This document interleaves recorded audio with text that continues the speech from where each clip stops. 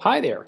If you're using a Realme device for some time, you must be familiar with this error message called internal storage is running low and performance is declining or maybe you open up your storage it shows you this your other storage and the system is taking a lot of space and now you can't really record any video you can't take any pictures because every time you do that it gives you this error.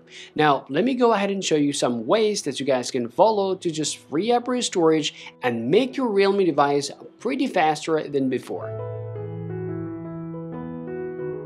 if you want to solve your storage problem on your device, the first option that you need to check is your storage itself. You want to head back to your settings and scroll down here and open up your storage. Now this is going to categorize you on every single specific things. Let's say for pictures, videos, audios, and more.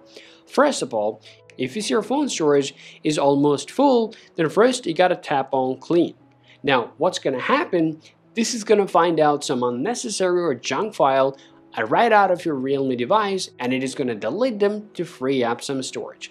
Now let's say you got this and well it says recommended cleanup. Now just go ahead and tap go to free up your storage. Now this is gonna you know, show you the largest file that you have on your device. Now, if you find any files that is really large or taking a lot of space then you we highly recommend you to delete that file in order to get some free storage. Now let's say you did that but still you have a lot of space has been taken.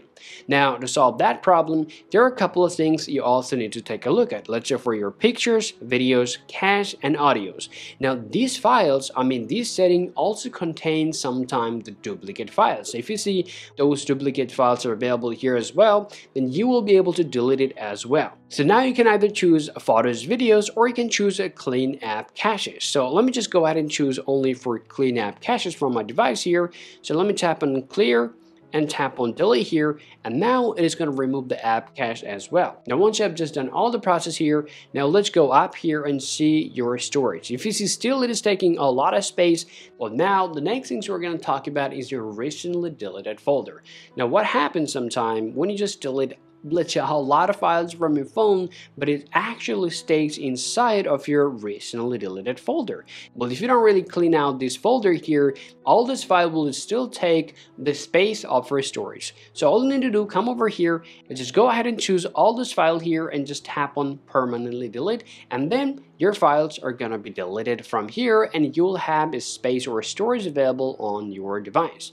Now let's go ahead and talk about your external storage.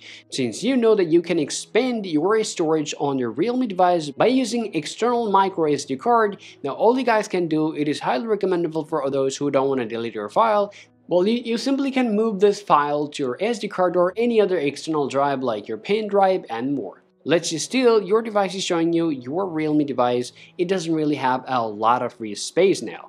The next thing we're going to talk about the application that you're currently using. Now, there are certain applications that cost or let's say that takes a lot of space. And if you don't really use those applications, then we highly recommend you to delete this application from your phone to get some free storage.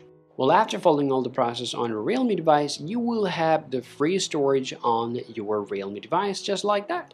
Hope you found this video useful. If you think so, drop a like and subscribe to the channel. Thank you for watching, and I'll talk to you later. Peace out.